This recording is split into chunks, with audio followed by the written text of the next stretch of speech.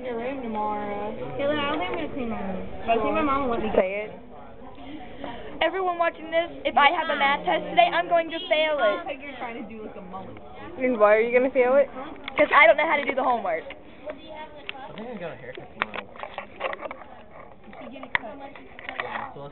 Are you having fun with that?